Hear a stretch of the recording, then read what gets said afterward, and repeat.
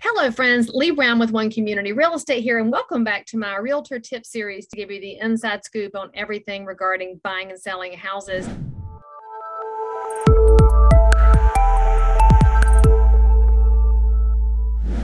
You can see that I'm in my office right here today, not in front of a house doing a listing or showing it to a buyer, because this is where your relationship with your realtor should actually start.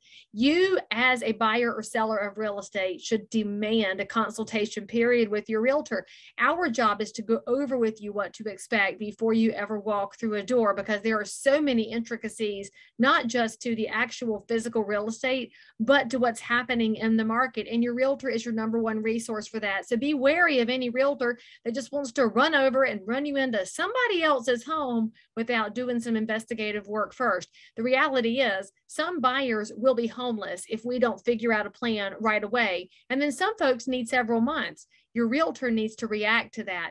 As a seller, some of you want to get in and out of the market as quickly as possible because you want to go liquid with your money. Totally understandable. Some folks have a target number they want to hit. And so that depends on market conditions, comps, and what's happening out there.